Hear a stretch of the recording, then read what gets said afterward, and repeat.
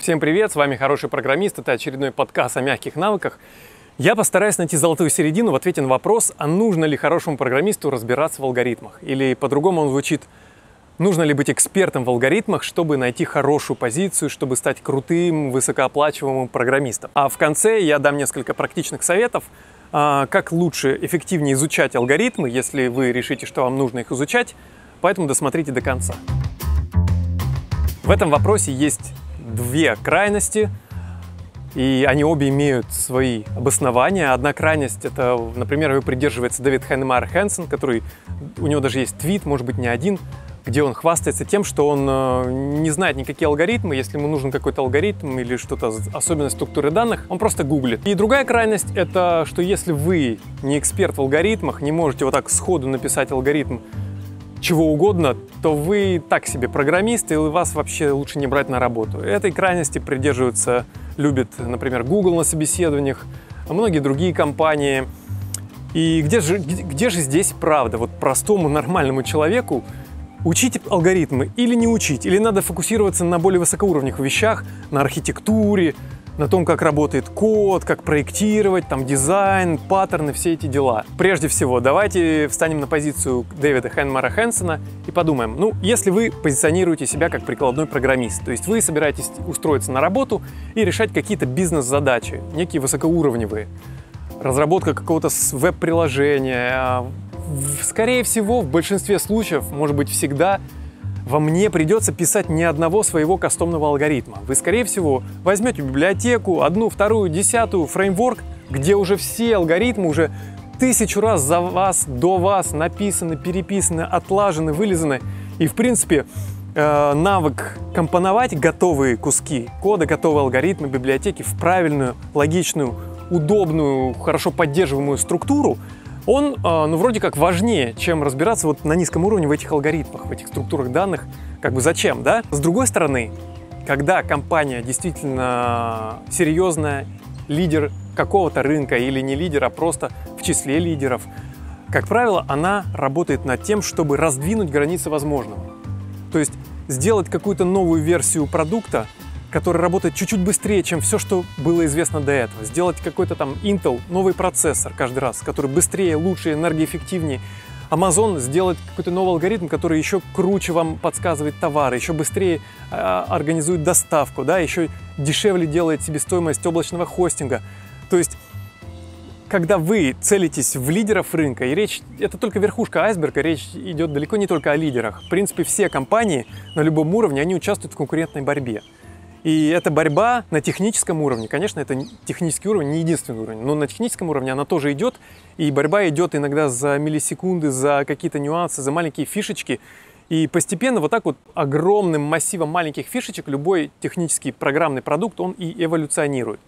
И поэтому в современном мире вот то, что я наблюдаю сейчас на рынке и уже много лет, грань между системными программистами и прикладными, она все сильнее и сильнее размывается. Системные программисты, то есть кто, те, кто пишет, например, операционные системы, какие-то сами базы данных, они так или иначе э, неизбежно участвуют или контрибьютят, или как консультанты в написании и драйверов, и фреймворков, и приложений, которые пользуются этими базами данных. И прикладные программисты тоже очень часто особенно те, кто активно использует какую-то библиотеку, какой-то фреймворк, те же рельсы, Django, они очень часто натыкаются на пределы возможного.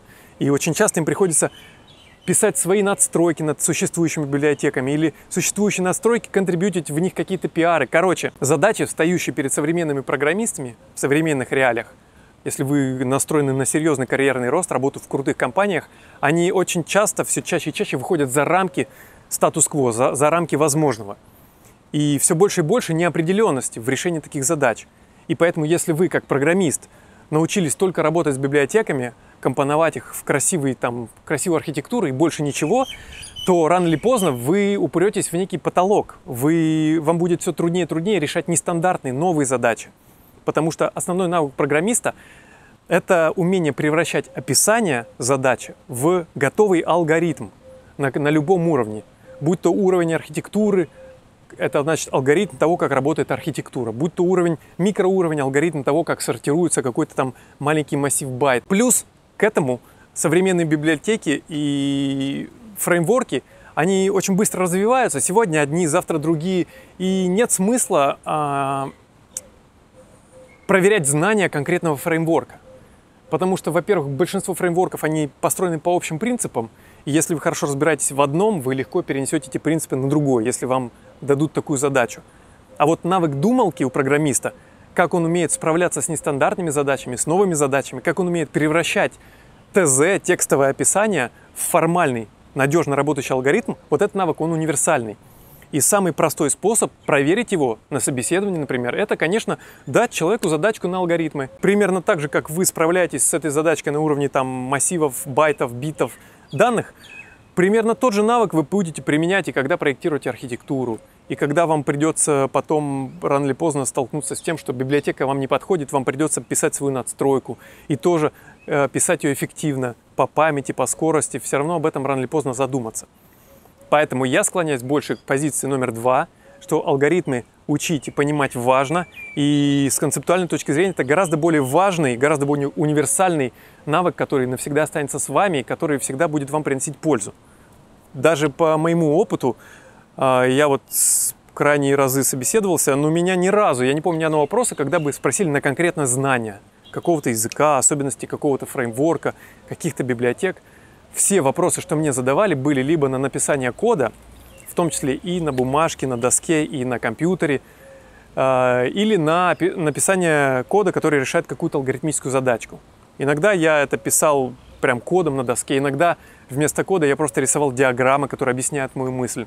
Потому что здесь уже переходя к советам, люди, которые спрашивают на собеседованиях алгоритмы, те, кто понимают, что они спрашивают, у них цель не подловить вас не услышать от вас какой-то зазубренный ответ, стандартный там алгоритм.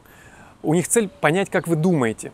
И поэтому нет ничего зазорного в том, что вы забыли какой-то синтаксис, ошиблись в каком-то библиотечном стандартном методе. Вы текстом, когда пишете в Варде на доске, не надо этого бояться, это нормально. Цель просто объяснить, как вы думаете.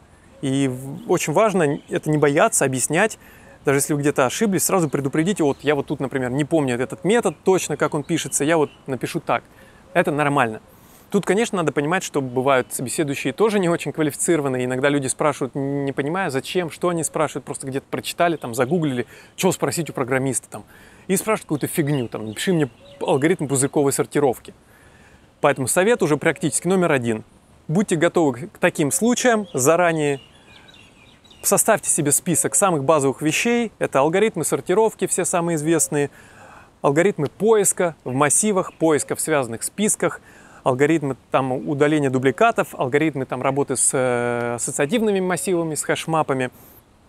Просто самые вот эти простые низкоуровневые вещи выучите, реализуйте и будьте готовы к таким вот тупым вопросам. Потому что совет номер два, а, как готовиться к хорошим вопросам, действительно на думалку – это когда вы изучаете алгоритмы, самое важное не просто как можно больше узнать алгоритмов, а постараться натренировать свой навык превращения описания, логики, требований в готовый работающий код.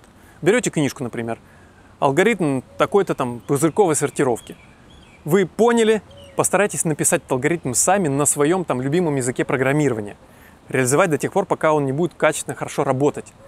Или если вам трудно, первые алгоритмы вы списываете с книжки, с курса, откуда-то заставляете работать, но каждый следующий старайтесь написать самостоятельно, уже на базе того опыта, который у вас накопился, подглядывая в справочники, в Google, но как можно больше самому написать, довести от начала и до конца вот этот алгоритм, чтобы он работал, чтобы вы начали усваивать, чтобы у вас в пальцах был этот навык. Разбирайтесь, как работает написанный вами код, а не просто читайте, типа, о, ну я понял сам, начиная с самых банальных, самых известных, всем сто раз написанных алгоритмов.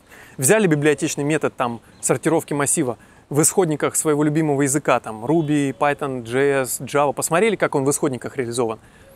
Закрыли, напишите сами с нуля, как бы вы реализовали. А потом запустите тестовый прогон, например, стандартный метод и ваш метод.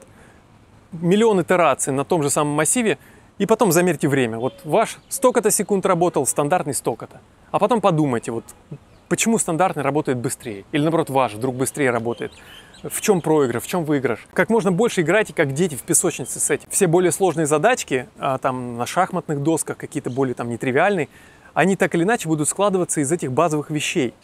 И вам будет гораздо проще. И совет номер три, когда вы позиционируетесь в какие-то хорошие компании, Google, Amazon, Яндекс, топовые, да, софтверные, а я советую вам не бояться и целиться как можно выше, а, потому что ну, сложность подготовки плюс-минус почти одинакова. Компания номер один и компания номер два, три, четыре. А профита вы, особенно если вы начинающий, получите гораздо больше. Так вот, если вы готовитесь к собеседованию в какую-то компанию, почти про любую крупную компанию можно загуглить, что там любят спрашивать, любимые задачки, любимые темки. И все это загуглив, вы можете просто составить список и подготовиться. Алгоритмы на графах вот такие, сякие, просто поискать, выделить время, как к экзамену в институте, как к диктанту в школе, реально сесть и подготовиться. Вы будете ну, гораздо выгоднее отличаться от своих конкурентов, соперников на эту должность. И плюс сам, сама подготовка, даже если вы не пройдете, даст вам очень хороший буст в понимании того, как писать более сложные алгоритмы вообще, что это такое. Мораль, в общем, я советую вам, как говорится, отдавать Богу Божье, а кесарю кесарева, то есть а, изучать и фреймворки, и тот предмет, с которым вы работаете, например, вы ищете Django или Rails вакансии, изучаете Rails, и, конечно, вы должны понимать, как работают Rails, библиотеки, как работает фреймворк, но при этом и выделяйте время, не забывайте прокачивать свою думалку, свой основной навык, решайте задачки, полно сайтов сейчас просто с алгоритмическими задачками. Советую вам там зарегистрироваться и начать с самых простых, решать как можно больше самостоятельно, просто прокачивать. Не ради конкретной вакансии, не ради понтов, не ради, а ради себя, потому что эта думалка останется с вами навсегда. Через 10-20 лет будет 10 новых языков, то, что сейчас модно, может быть, уйдет навсегда в лету, а вот эта думалка останется с вами навсегда. С вами был хороший программист, я желаю вам развития карьерного, нравственного, интеллектуального. Поставьте лайк этому видео, нам очень приятно, ваша поддержка помогает этому каналу держаться на плаву, делать нам эти видео. Если вам интересно в аудиоформате это слушать больше, то заходите вот по ссылке, которую на экране видите. Аудиоподкасты мы туда выкладываем, иногда те, которых нету на видео, а иногда на видео того, что нету в аудио. Очень полезно и там, и там подписаться. Про мягкие навыки нам еще много есть что сказать. В комментах к этому видео, пожалуйста, ваши вопросы, уточнения или пожелания к следующим выпускам, что вас беспокоит, вот что вам прямо сейчас мешает взять и пойти работать программистом? Или если вы уже работаете, что вам сейчас мешает вырасти по карьере? Что вам прямо сейчас мешает найти более крутую работу? Или попросить повышения зарплаты? Или взять себе больше ответственности, более крупную задачу сделать? Постараемся вам помочь, опыта, слава богу, у нас хватает. В общем, лайк, подписка и колокольчик, чтобы не пропустить. Все. Всем пока, всех обнимаю.